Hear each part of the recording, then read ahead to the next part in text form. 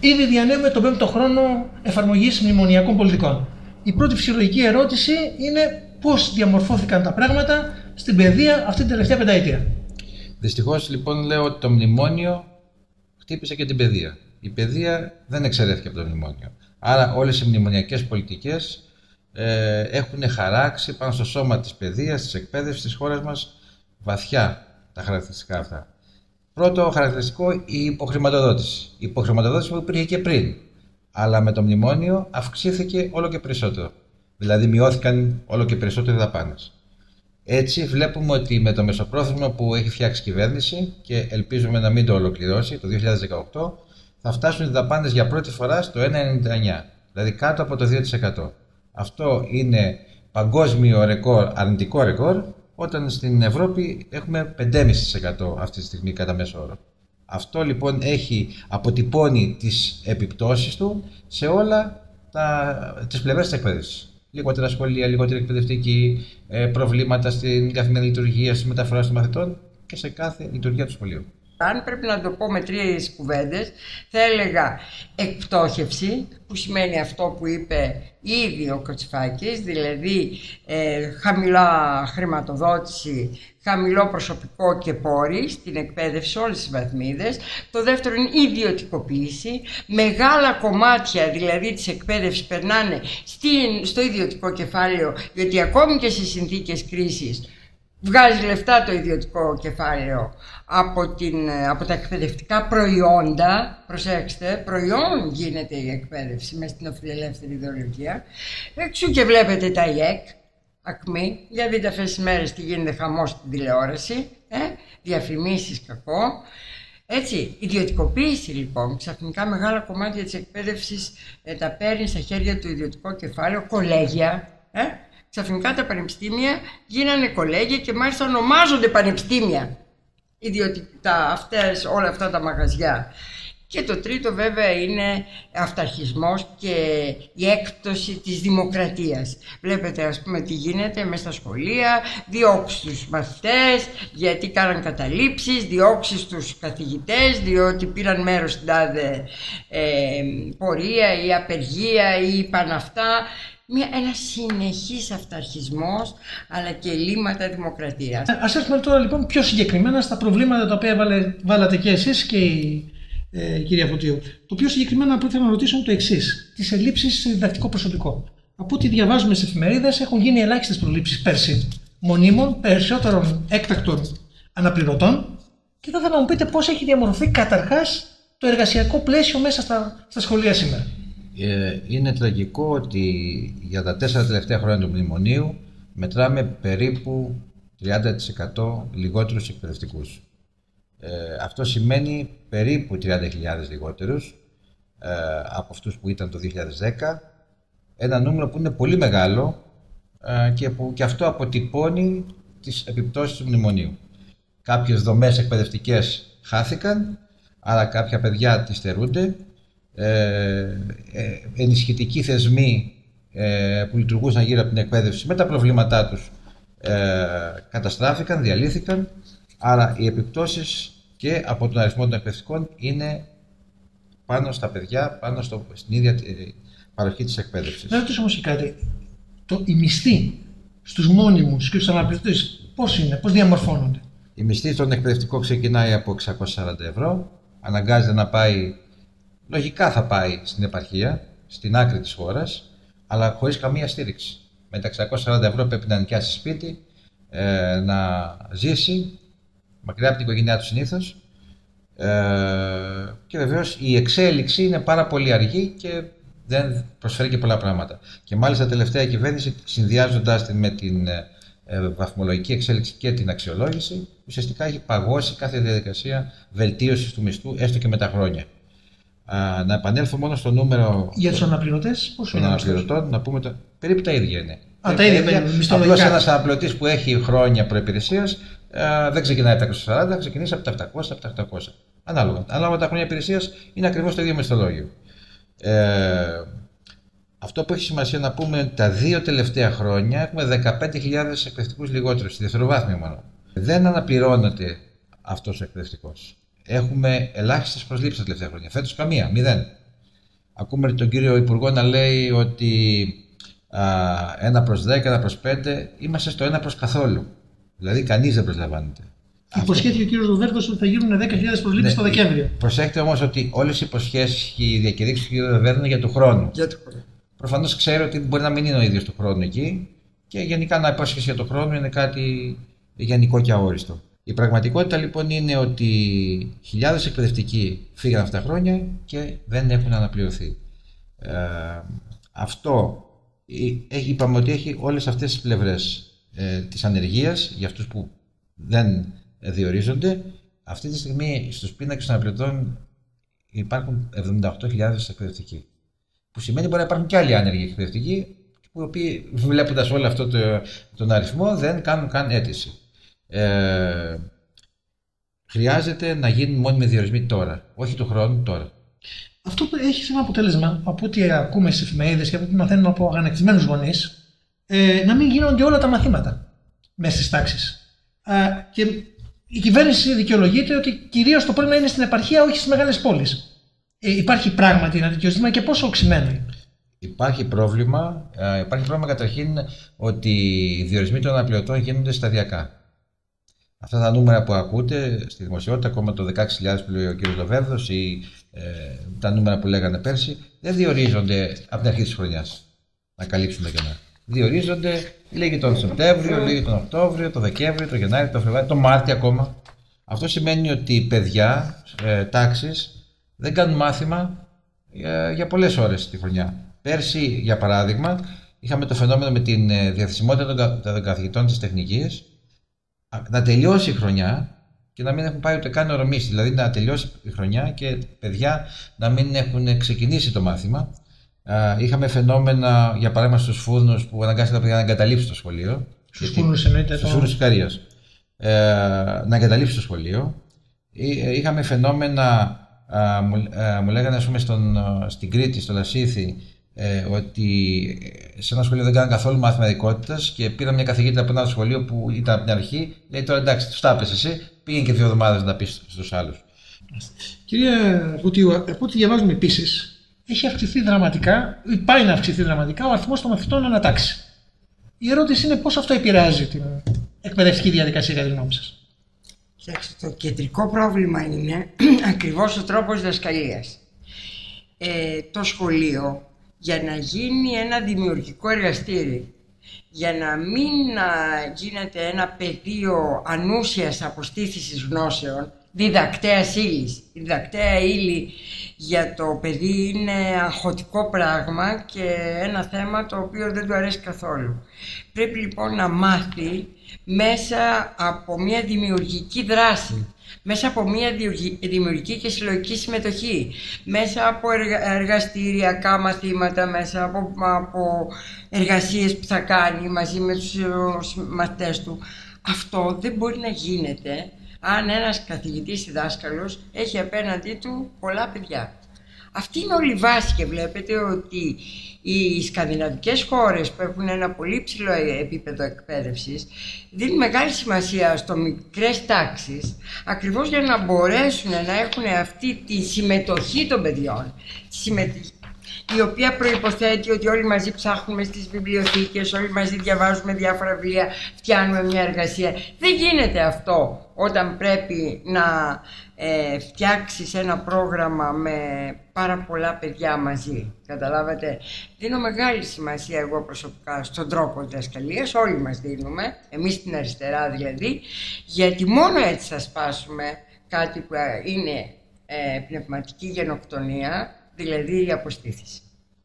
Ε, νομίζουμε ότι λιγότεροι μαθητές μπορεί να κάνεις το μάθημα καλύτερα, μπορεί να αναπτύξεις μεθόδους δασκαλία όπως είπε η κυρία Φωτίου πιο δημιουργικές, πιο συμμετοχικές.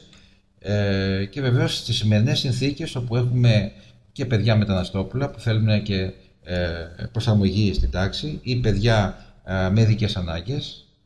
Έχουμε μεγάλο ποσοστό παιδιών με δυσλεξία. Υπάρχουν νόμοι για αυτά οι οποίοι ούτε αυτοί εφαρμόζονται. Προσπαθεί η κυβέρνηση δηλαδή και το Υπουργείο Παιδείας να εξοικονομήσει από παντού ε, προσωπικό και αυτός είναι ο λόγος που δεν ε, έχουμε πετύχει ένα, μια, ένα, μια καλύτερο αριθμό με αυτό στην τάξη. Για παράδειγμα, Α, δεν έχουμε μόνο την τάξη, έχουμε και τα εργαστήρια στο σχολείο. Όχι μόνο στα επαγγελματικά λύκεια, αλλά και στα γενικά λύκεια. Ε, στα εργαστήρια θα θέλαμε να είναι ακόμα μικρότερος ο αριθμός ή να είναι ε, μικρότερη αναλογία που ο κάθε εκπαιδευτικός έχει στην επίβλεψή του κάποια παιδιά που κάνουν κάποια πράγματα. Ε, όλα αυτά έχουν να κάνουν με το πώς βλέπουμε ένα καλύτερο σχολείο έτσι, και μια καλύτερη διδασκαλία η οποία κατά τη γνώμη μου δεν πρέπει να γίνεται βέβαια από έδρας, πρέπει να γίνεται συμμετοχικά με τα παιδιά γιατί αυτό τα βοηθάει τα ίδια να αγαπήσουν το σχολείο και αυτό νομίζω είναι το κυριότερο. Έχει περάσει ένας χρόνος από τότε που καθιερώθηκε το διαβόητο πλέον νέο λύκειο. Ε, καθιερώθηκαν εξετάσεις και στις τρεις τάξεις του λυκείου και υπάρχει ένα μπέρδεμα με αυτό που ονομάζεται α, τράπεζα θεμάτων. Το ερώτημα μου λοιπόν σε αυτό το χρόνο, ποια είναι η γνώμη σας, τι απέδωσε το νέο λύκειο, η μεταρρύθμιση, τι επιπτώσεις είχε πάνω στους μαθητές και τους γονείς τους. Λοιπόν, ε, είναι μια μεταρρύθμιση που εμείς έχουμε χαρακτηρίσει αντιεκπαιδευτική. Η Τράπεζα Θεμάτων είναι ένα κομβικό σημείο αυτής της μεταρρύθμισης. Γιατί; Γιατί πρώτα, πρώτον δυσκολεύει την προαγωγή των μαθητών, μαζί με τον τρόπο προαγωγής που άλλαξε και αυτός δυσκόλεψε, ε, με αυτά τα δύο στοιχεία μαζί. Δυσκολεύει λοιπόν την προαγωγή των μαθητών. Άρα βοηθάει στο να έχουμε μεγαλύτερη μαθητική διαρροή. Άρα βοηθάει στο να διώξουμε τα παιδιά από το Λύκειο και το γενικό και το επαγγελματικό, γιατί και εκεί έχουμε τράπεζα θεμάτων, και να τα σπρώξουμε προς το σύστημα της μαθητείας. Ε, η κυβέρνηση έφτιαξε και θα λειτουργήσει από φέτος ένα σύστημα σχολών μαθητείας, όπου τα παιδιά δεν παίρνουν πολιτήριο, δεν είναι λύκειο, δεν είναι σχολείο, είναι έξω από το εκπαιδευτικό σύστημα, το λέει ο ίδιος ο νόμος. Ε, δεν ασκούνται, δεν μαθαίνουν, δεν παίρνουν μια γενικότερη γνώση, δεν ασκούνται, αν θέλετε, σε ένα επάγγελμα με τις γενικότερες πλευρές και γνώσεις έστω του τεχνολογικού τομέα που ανήκει αυτό το επάγγελμα, αλλά παίρνουν εξειδικευμένα πράγματα α, και δεξιότητες μόνο του συγκεκριμένου επαγγέλματος. Και μάλιστα τον τρίτο χρόνο δεν είναι καν στο σχολείο. Είναι σε έναν εργοδότη και κάτω από τον εργοδότη, με συμβάσει που θα κάνει ο ΑΕΔ, με μαθητεία, θα εκπαιδεύονται εκεί. Ε, αυτό νομίζουμε ότι γυρνάει το εκπαιδευτικό ρολόι πολύ πίσω στις σχολές του 50 και βεβαίως είναι μια αντιδραστική μεταρρύθμιση ε, σε, σε συμφωνία με την ε, Γερμανία κλπ. Να ρωτήσω κάτι. Κάποιος θα σας έλεγε εδώ ότι δεν είναι κακό να εκπαιδεύονται οι μαθητές σε ένα επαγγελματικό προσανατολισμό; Σωστό και αυτό. Αλλά εμείς λέμε ότι η, η τόση μεγάλη εξειδίκευση δεν πρέπει να γίνεται από τόσο νωρίς. Όχι σε απόφαση του γυμνασίου. Πρέπει να τελειώνει το Λύκειο. Για ποιο λόγο; Για τον λόγο ότι στο Λύκειο βοηθιέται το παιδί να παίρνει την ευρύτερη γνώση. Είναι, μην ξεχνάτε ότι είναι στην, στην περίοδο της εφηβείας μια πολύ κρίσιμη περίοδο. Πρέπει να είναι μέσα στο σχολείο λοιπόν ε, το σχολείο να νοιάζεται ε, χρησιμοποιώντας την παιδαγωγική, να νοιάζεται συνολικά για τη διαμόρφωση της προσωπικότητας και για τη συνολική γνώση που θα πάρει αυτό το παιδί. Εμείς λέμε σε αυτή τη φάση τουλάχιστον δεν είμαστε αντίθετοι στο να υπάρχει επαγγελματικό λύκειο. Το οποίο και αυτό δίνει μια γενικότερη παιδεία, γενικότερη τεχνολογική γνώση και δίνει και κάποιες ειδικές γνώσεις. Αλλά δεν μπορεί να πάρεις όλη την ειδίκευση μέσα στο σχολείο. Είτε χρειάζεται αυτή την ειδίκευση να την πάρεις λίγο μετά, αμέσως μετά, είτε αν τελειώσει το γενικό λύκειο να έχεις όλη την ειδίκευση μετά. Ε, το επίσης κακό που κάνει η Τράπεζα Θεμάτων πέρα από την, το σπρώξιμο προς την κατάρτιση να διώξουμε το Λύκειο, είναι ότι αλλοιώνει τον ίδιο το χαρακτήρα του σχολείου. Δηλαδή, κανείς δεν θα ασχολείται στο σχολείο πλέον με την ευρύτερη γνώση, με, το, με προγράμματα δημιουργικά, με άλλα πράγματα που αν θέλετε, είναι το αλάτι της ζωής και το αλάτι της εκπαίδευσης, θα ασχολείται μόνο πώς θα απαντήσουμε τις 300-400 ερωτήσεις της διαλεμένης τράπεζας θεμάτων. Δηλαδή, το σχολείο μετατρέπεται σε ένα α, τύπου φροντιστήριο, πώς καλύτερα θα απαντήσω σε αυτά, πώς θα καλύτερα θα λύσω κάποιες συγκεκριμένες ασχέσεις που έχουν αναρτηθεί στην τράπεζα θεμάτων. Θα έχουμε δηλαδή φαινόμενα που θα λέει ο μαθητής στο δάσκαλο, δάσκαλο αυτό είναι τα θέματα, δεν θέλω να τα ακούσω, αν δεν είναι στα θέματα. Ε, μιλάμε για στρέβλωση μεγάλη στο περιεχόμενο και επισημαίνω ότι αυτό είναι σημαντικό και σημαντικότερο από τα οικονομικά γιατί οι επιπτώσεις του φάνε στο μέλλον της χώρας. Ένα από τα κεντρικά προβλήματα του ελληνικού εκπαιδευτικού συστήματος είναι ότι είναι εξετασιοκεντρικό. Δηλαδή όλη η έγνοια παιδιών, δασκάλων και γονιών γυρνάει γύρω από τις εξετάσεις. Και με αποκορύφωμα βέβαια τις Πανελλήνιες εξετάσεις. Εκεί πια γίνεται η μεγάλη σφαγή Και έχουν, και ο επανέλθει, πυρμός. και έχουν επανέλθει σε όλες τις τάξεις του Λυκείου. Τώρα, φαντάσου λοιπόν να περνάει αυτό, αυτή η κο- η κατάσταση και αυτό το κλίμα σε μικρά παιδιά 15 χρονών. Ένα. Εμείς, ε, σαν αριστερά, πιστεύουμε ότι όλο αυτό το πράγμα πρέπει να αλλάξει, να γίνει ακριβώς το ανάποδο σύστημα. Δηλαδή οι εξετάσεις δεν μπορεί να είναι η, ε, πώς να πω, η κατάκτηση της γνώσης και ο έλεγχος της γνώσης το, να βασίζεται αποκλειστικά στις εξετάσεις. Αυτό γίνεται σήμερα. Αυτό είναι λάθος. Διότι ακριβώς ένα παιδί μαθαίνει βαθύτερα επί της ουσίας όταν ε, μπορεί να φτιάξει πράγματα και να φτιάξει ας πούμε εργασίες, να ψάξει στις βιβλιοθήκες, να μάθει πώς να μαθαίνει, δηλαδή όλη αυτή τη μεθοδολογία της μάθησης που είναι το κεντρικό πρόβλημα του Λυκείου. Το Λύκειο δεν είναι ένα μεγάλο γυμνάσιο. Το Λύκειο είναι το μη. Δηλαδή αλλάζει άρδιν στο Λύκειο το παιδί, πρέπει να σκεφτεί και να μάθει ε, τη μεθοδολογία της μάθησης. Πώς μαθαίνω και γιατί το μαθαίνω. Όχι να, να έχει μόνο μία ύλη που πρέπει να αποστηθείς. Αυτό είναι μεγάλο λάθος. Και υπάρχει και μια άλλη επίπτωση. Ε, Παραδοσιακά η ελληνική παιδεία είχε τη μάστικα των φροντιστηρίων, που ήταν μια τεράστια αφέμαξη οικονομική για τις οικογένειες. Αυτή τη στιγμή γίνεται ακόμα χειρότερα εξετάσεις, οπότε φαντάζομαι θα οξύνεται και το πρόβλημα το οικονομικό και το φροντιστηρίων στην ελληνική οικογένεια. Όταν ψηφιζόταν αυτός ο νόμος πέρσι στη Βουλή, όλοι οι φορείς ήταν αντίθετοι. Και ανεξάρτητα τι γνώμη είχαν, γιατί υπάρχουν και διαφορετικές γνώμες. Και η ΔΟΕ και η ΟΛΜΕ και η ΠΟΣΔΕΠ και η ΟΕΛΕ, όλοι οι φορείς εκπαιδευτικοί. Υπήρχαν όμως δύο φορείς που ήταν υπέρ. Ήταν οι ιδιοκτήτες των φροντιστηρίων και οι ιδιοκτήτες των ιδιωτικών ΙΕΚ. Περίεργο, Προφανώς οι ε, άνθρωποι τυχαίο. πήραν την αμοιβή τους, το πω έτσι, αμέσως. Ήδη, ήδη, οι ίδιοι ανακοινώσανε ότι είχαμε αύξηση από το μαθητέ τη πρώτη Λυκείου 15%. Φέτος, στην πρώτη χρονιά. Που υποτίθεται ήταν και πιο, ας το πούμε, Χαλαρή. χαλαρή κατά, τη- και κατά την κυβέρνηση. Λοιπόν, καταλαβαίνετε λοιπόν ότι άλλη μια επίπτωση είναι αυτή, η αύξηση των φροντιστηρίων. Ε, και βεβαίως άλλη μια επίπτωση αυτής της ιστορίας της τράπεζας είναι ε, η στόχευση μάλλον είναι η στανταροποίηση των αποτελεσμάτων. Θέλουν ένα σχολείο που θα έχει αποτελέσματα α, μέσα από πανελλαδικά τεστ συγκρίσιμα μεταξύ τους για να κάνουν ταξινόμηση στο σχολείο. Αυτά δεν τα λέμε εμείς και δεν είναι θεωρία. Υπάρχουν και καθαρά γραμμένα στην έκθεση του ΟΣΑ για το ελληνικό σχολείο. Η έκθεση του ΟΣΑ δεν είναι οποιαδήποτε έκθεση, αυτή η συγκεκριμένη. Παραγγέλθηκε με βάση το μνημόνιο, όπου η Τρόικα επέβαλε ότι θα γίνουν αλλαγές στην εκπαίδευση. Το μνημόνιο για την εκπαίδευση, πέρα από τα οικονομικά, είναι και ένας μηχανισμός για να επιταχύνει τις αλλαγές αυτές.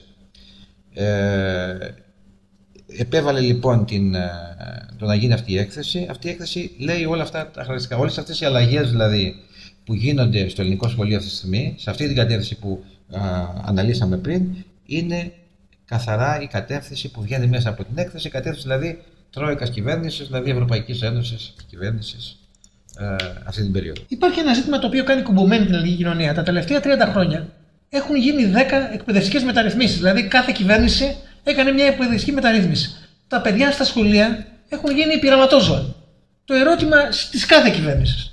Το ερώτημα είναι για ποιο λόγο τόσο συχνές μεταρρυθμίσεις εκπαιδευτικές τα τελευταία 30 χρόνια στην ελληνική κοινωνία; Παρατηρούμε ότι ακόμα και οι υπουργοί της ίδιας κυβέρνησης, ενώ του ίδιου κόμματος που κυβερνά, α, φέρνουν αλλαγές και ο επόμενος ξυλώνει. Ναι, αυτό γίνεται. Έτσι και όταν. Ήδη το- ο κύριος Λοβέρντο είχε πει θα ξυλώσει κατά Ναι. πάσα πιθανότητα την τράπεζα το Μα ήδη, τράπεζα θεμάτων. ήδη, ήδη ο νόμος, γιατί πολλές φορές μας λένε Μα είναι νόμος, και όταν στη Βουλή, στην Επιτροπή Μορφωτικών Θέσεων, δεν είχα πάει σαν εκπρόσωπο του ΟΛΜΕ, έβαλε τα ζητήματα της Τράπεζας Θεμάτων, ο Υφυπουργός Παιδείας, ο κ. Μετζόπουλο, όταν άκουγε να καταργηθεί η Τράπεζα Θεμάτων, πεταγόταν απάνω. Ναι. Λέει είναι νόμος, δεν μπορεί να καταργηθεί. Ήδη αυτός ο νόμος, ο περσινός, έχει τροποποιηθεί πέντε φορές. Μάλιστα. Καταλαβαίνετε λοιπόν ότι πολλές φορές και οι ίδιοι βλέπουν τις αδυναμίες, τις τρευλώσεις ή τα κοινωνικά προβλήματα που δημιουργεί. Ο νόμος, ας πούμε, του Αρσένη ε, από την ίδια κυβέρνηση με έναν άλλο υπουργό ή και από τον Αρσένη τον ίδιο τροποποιήθηκε λίγο. Έρχεται ένας άλλος υπουργός της ίδιας κυβέρνησης. Γιατί αυτή τη Τροποποιήσει στιγμή. περισσότερο. Γιατί οι αλλαγές που γίνονται πέρα από την αντιδραστικότητα που έχουν γίνονται και στο πόδι. Ή πολλές φορές δεν περνάνε στην ελληνική κοινωνία. Δηλαδή δεν πέρασε στην ελληνική κοινωνία η αλλαγή που έλεγε Για να είσαι, ε, από, για να είσαι απρέσφα, θα περνάνε όλοι στο πανεπιστήμιο, είχε πει ο Αρσένη. Ναι, αλλά δεν θα περνάνε όλοι στο Λύκειο όμως, ήταν το επόμενο. Έλεγε ότι όσοι τελειώνουν το Λύκειο θα είναι στο πανεπιστήμιο, αλλά δυσκολεύουν το Λύκειο. Θα βάζουν πανελλαδικές παντού. Β και Γ, αν θυμάστε καλά. Mm-hmm. Θέλω να πω λοιπόν ότι οι αλλαγές που κάνουν έχουν στόχευση. Δεν είναι πάντα αυτό που λέμε προχειρότητα. Υπάρχει και προχειρότητα. Αλλά έχουν στόχευση. Αυτή η αλλαγή η τωρινή, σας είπα τι στόχευση έχει. Mm-hmm. Να σπρώξει ένα μέρο του πληθυσμού, του μαθητικού, στην κατάρτιση. Στην πρώτη κατάρτιση μαθητεία. Άρα υπάρχει στόχευση. Αν θα το πετύχει ή όχι, αν αποτύχει ή όχι, εξαρτάται και από το εχθρικό κίνημα και από τι ε, κοινωνικέ διαδικασίε ε, και, και από τι ε, ίδιε αντιφάσει του συστήματο που δεν το βοηθάει να προχωρήσει. Κυρία Ήθελα να πω μια κουβέντα σε αυτό πάνω. Ίσως έχει ενδιαφέρον να θυμηθούμε ότι μεγάλες αλλαγές έγιναν μετά τη μεταπολίτευση. Μεγάλε Μεγάλες δημοκρατικές αλλαγές στην εκπαίδευση. Θα έλεγα ότι μέσα από όλο αυτό το ε, ε, κλίμα εκδημοκρατισμού της εκπαίδευσης που είχε αναπτυχθεί και την ισχύ του φοιτητικού κινήματος τότε, αλλά και των εκπαιδευτικών με τους αγώνες τους, πράγματι έγιναν τομές στην ε, παιδεία σε όλα τα επίπεδα, από την πρωτοβάθμια, δευτεροβάθμια, αλλά και στην τριτοβάθμια εκπαίδευση, πολύ σημαντικά πράγματα, έτσι.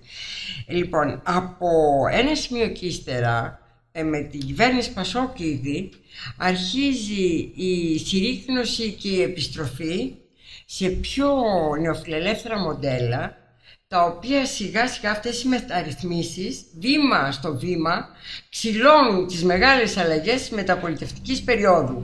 Κάθε χρόνο εφαρμόζοντας ολοένα και πιο ε, νεοφιλελεύθερα υποδείγματα. Είναι και οι ευρωπαϊκές πολιτικές, δεν πρέπει να ξεχνάμε, που ορίζουν αυτά τα νεοφιλελεύθερα υποδείγματα. Άρα όλη αυτή η ιστορία δεν είναι μια τυχαία ιστορία, είναι μια εσκεμμένη ιστορία που έχει σαν στόχους αυτούς που είπαμε, δηλαδή ε, ολοένα και λιγότερα παιδιά να μπορούν να απολαμβάνουν το αγαθό της εκπαίδευσης ε, που είναι απελευθερωτικό αγαθό, καταλαβαίνετε, δημιουργεί χειραφετημένα άτομα.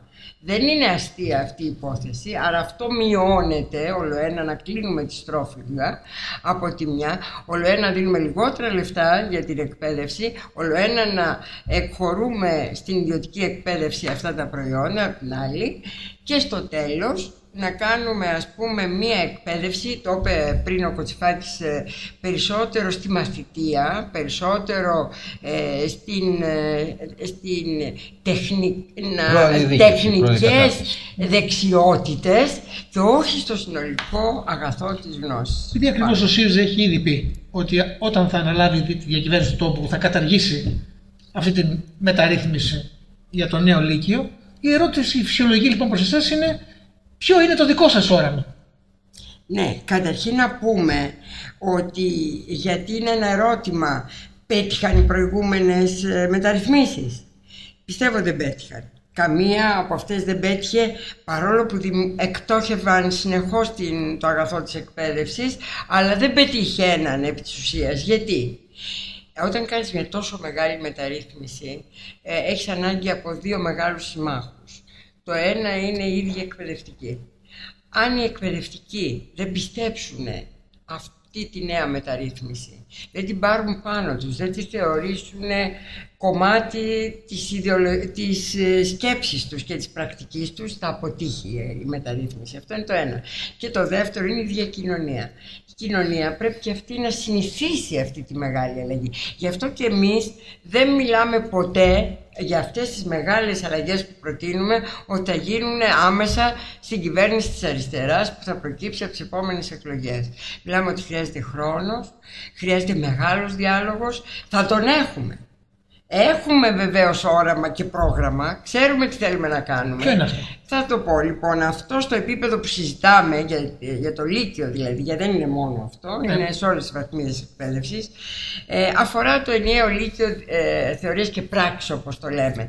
Ε, τι σημαίνει θεωρίες και πράξεις; Πρόκειται για ένα, μια προτεραιότητα που έχουμε στη δευτεροβάθμια εκπαίδευση να συνδυάσουμε τη θεωρητική μόρφωση με την πρακτική δραστηριότητα, δηλαδή μαθαίνει κάνοντας, αλλά όχι μόνο, ε, και να το εξοικειώσουμε τα παιδιά με τις σύγχρονες τεχνολογίες αλλά και με όλες τις άλλες μορφές πολιτισμού, τέχνης και τα λοιπά που πρέπει να του δώσουν όλο αυτό το σύνθετο πράγμα που λέγεται εκπαίδευση στο Λύκειο. Ε, δεν λέμε κάτι πολύ καινούριο για να συνεννοηθούμε και να καταλάβουν και όσοι μας βλέπουν ή μας ακούνε. Ε, λέμε κάτι, υπήρξε το πολυκλαδικό.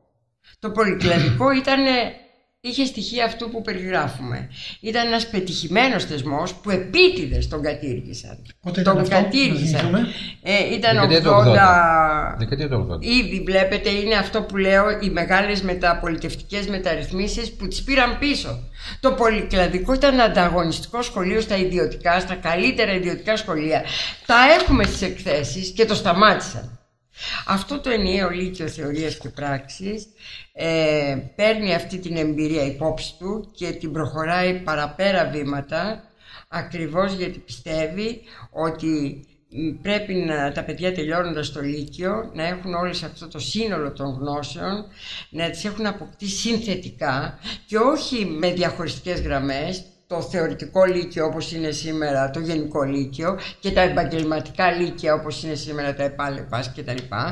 Αυτό λοιπόν, τη σύνθεση αυτών των δύο τύπων σχολείων ε, θα επιχειρήσουμε στο ενιαίο λύκειο θεωρίας και πράξης το οποίο θα μαθαίνει το παιδί πώς να μαθαίνει δηλαδή αυτή είναι η, όλη του η σύλληψη και από την άλλη θα μαθαίνει για του πράτη.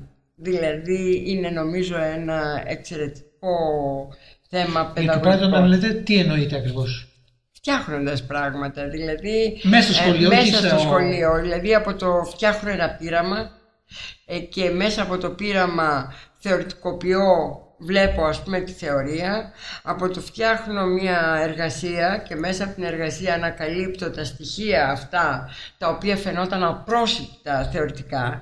Ξέρετε, έχετε ζήσει κι εσείς δασκάλους, φωτεινούς, που μέσα σε όλα αυτά όλοι έχουμε ζήσει ένα τέτοιο φωτισμένο άνθρωπο που μας άλλαξε τη ζωή. Δεν ξέρω αν υπάρχει άνθρωπος που δεν τον έχει ζήσει ε, αυτόν. λοιπόν, μέσα σε αυτήν την κατάσταση σήμερα, αυτή είναι η φάρη που τα κάνουν όλα αυτά με αυτοθυσία, με μεγάλο κόπο, πολλές φορές και διοκόμενοι. Γιατί κάνουν πράγματα έξω από το ορολόγιο πρόγραμμα και τη διδακτέα ύλη. Αυτούς τους φάρους εμείς θέλουμε να τους πολλαπλασιάσουμε, να τους δώσουμε στην ελληνική κοινωνία σαν το μεγάλο δώρο της αριστεράς για την κοινωνική χειραφέτηση των ατόμων, για το βάθεμα της δημοκρατίας, γιατί αυτό είναι τελικά η παιδεία, ε; για τις ολοκληρωμένες προσωπικότητες. Όσον αφορά το εκπαιδευτικό κίνημα, εδώ και πάρα πολλά χρόνια έχει διαμορφώσει πρόταση που λέει ότι καταρχήν πρέπει να μιλήσουμε για 12 χρόνια υποχρεωτική εκπαίδευσης, συν τα χρόνια του ε, νηπιαγωγείου.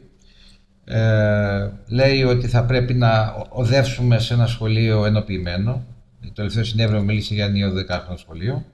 Ε, αλλά όμως μέσα από μια πορεία ε, όπου θα δυναμώσουμε, θα αναβαθμίσουμε την τεχνική εκπαίδευση. Η τεχνική εκπαίδευση αυτή τη στιγμή είναι σπασμένη σε διάφορα κομμάτια, σε μαθητείες, σε διάφορα υπουργεία. Όλα αυτά πρέπει να ενοποιηθούν σαν πρώτο βήμα να πατήσει τα πόδια της το επαγγελματικό σχολείο και σιγά σιγά με την ενοποίηση προγραμμάτων να δημιουργηθεί ένα σχολείο που θα μπορεί να ενοποιήσει. Εμείς λέμε χαρακτηριστικά ότι αυτό το σχολείο πρέπει να αξιοποιήσει τα θετικά χαρακτηριστικά του πολυκλαδικού. Το πολυκλαδικό ήταν ένα καλό πείραμα, καταργήθηκε αυθαίρετα από την κυβέρνηση του Πασόκ, την κυβέρνηση που το έφτιαξε, απέναντι σε αυτά που βλέπουμε να εξελίσσονται, απέναντι στην ε, κατευθύνση Ευρωπαϊκής Ένωσης, όπου σε ένα τελευταίο κείμενό της λέει ότι η μεγαλύτερη αξία για το σχολείο από την υπηαγωγή μέχρι το Λύκειο είναι η επιχειρηματικότητα και ο ανταγωνισμός. Για μας είναι ο άνθρωπος, οι ανθρωπιστικές αξίες και τα ιδεώδη που μπορεί να βοηθήσουν ένα παιδί να στέκεται στα πόδια του σαν πολίτης αύριο. Αυτό. Επειδή είπατε ότι η εκπαιδευτική μεταρρύθμιση χρειάζεται χρόνο. Ε, ένας πολίτης απλώς θα σας έλεγε το ερώτημα, εντάξει, χρόνος μπορεί να χρειάζεται, αλλά εσείς ο ΣΥΡΙΖΑ όταν βγείτε κυβέρνηση, τι θα κάνετε άμεσα για την παιδεία; Κοιτάξτε, εμείς θα καταργήσουμε τους μνημονιακούς νόμους και θα επαναπροσλάβουμε όλους αυτούς που σήμερα άδικα βρέθηκαν εκτός ε, εκπαίδευσης ε, από τους φύλακες μέχρι τους καθηγητές μέχρι τους ε, διοικητικούς υπαλλήλους στον ΑΕ και ούτω καθεξής. Γιατί δεν περισσεύει κανείς. Το όχι μόνο δεν περισσεύει, καταλάβαμε καλά από τη συζήτηση ότι λείπουν και όλα. Λοιπόν, το πρώτο μας μέλημα να λειτουργήσουν τα σχολεία, τα πανεπιστήμια, όλα γρήγορα και αμέσως. Αυτό θα είναι το πρώτο μας μέλημα και μαζί με το, στο, στους μνημονιακούς νόμους που θα καταργήσουμε θα φέρουμε ένα δημοκρατικό πλαίσιο μεταβατικό λειτουργίας γιατί όπως σας είπα η κατέρευση δημοκρατία μέσα σε όλη αυτή την ιστορία. Λοιπόν, θα φέρουμε λοιπόν και ένα μεταβατικό νόμο για όλες τις βαθμίδες εκπαίδευσης για να λειτουργήσουν. Το τρίτο, το σχολείο όμως, το σχολείο εννοώ το γυμνάσιο, το λύκειο, για μας είναι το κέντρο των άμεσων ενεργειών μιας κυβέρνησης αριστεράς. Γιατί; Θέλουμε τώρα σε συνθήκες τέτοιας εκτόχευσης και κρίσης με μια, οικογένεια με μια κοινωνία φτωχοποιημένη που δεν έχει πια χρήματα ούτε να δώσει στα παιδιά της όλα τα εφόδια το, το δημόσιο σχολείο να γίνει ο τόπος που όλες αυτές οι ανάγκες θα καλύπτονται. Δηλαδή, θέλουμε εκεί να πηγαίνει το παιδί, να μένει όσο το δυνατόν περισσότερο. Ε, θα ξεκινήσουμε λοιπόν ένα μεγάλο πρόγραμμα από τις πιο υποβαθμισμένες περιοχές και πιο από αυτές που έχουν οικονομικές ανάγκες μεγαλύτερες για να το διευρύνουμε παντού, όπου θα διευρύνουμε το θεσμό του ολοήμερου σχολείου. Δηλαδή το παιδί πηγαίνει εκεί, παίρνει ένα γεύμα, ένα, ένα πρωινό, δεν θα υποθυμάνουν και τα παιδιά από αστεία μέσα στην τάξη, έτσι. Ε, και κάθεται εκεί για ενισχυτική διδασκαλία το απόγευμα για να μάθει ε, κομπιούτερ ή να μάθει ξένες γλώσσες. Δεν έχουν οι γονείς να στείλουν τα παιδιά τους να μάθουν ξένες γλώσσες. Θα τις μαθαίνει εκεί και θα τους δίνουμε και ένα πιστοποιητικό στο τέλος ότι έμαθε το παιδί αυτή την ξένη γλώσσα μέσα από το σχολείο όχι στα φροντιστήρια, καταλάβατε. Και συγχρόνως θα είναι και κέντρο πολιτισμού όλη τη γειτονιά αυτά τα αναμένα σχολεία μέσα στο βράδυ, μέσα στα κρύα βράδια, όπου τα παιδιά πηγαίνουν εκεί, όπου ο φασισμός δεν μπαίνει εκεί, γιατί πραγματικά αυτά τα κέντρα όπου θα έχουμε τέχνη μέσα, θα έχουμε θέατρο, θα έχουμε μουσική, χιλιάδες δραστηριότητες για αυτή τη ρημαγμένη κοινωνία. Αυτό είναι το μεγάλο σχέδιο που θα υλοποιήσουμε σαν κυβέρνηση της αριστεράς άμεσα και θα βάλουμε μπροστά όλα τα άλλα που τόση ώρα συζητήσαμε με διαδικασίες κατανόησης, διαβούλευσης και συλλογικότητας. Ευχαριστώ και τους δυο σας για τη συνέντευξη που μας παραγωγήσατε. Ευχαριστούμε πολύ. Και εμείς ευχαριστούμε που μας έδωσες την ευκαιρία να συζητήσουμε πάλι πράγματα που τα ξέρουμε Να είστε καλά. Να είστε καλά.